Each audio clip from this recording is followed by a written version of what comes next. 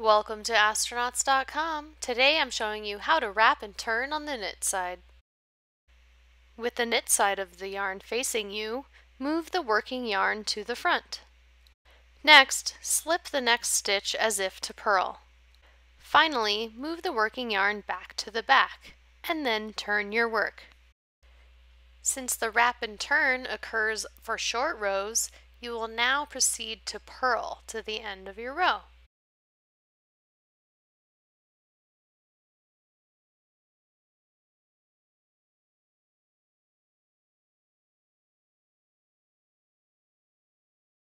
Voila! You've worked a short row.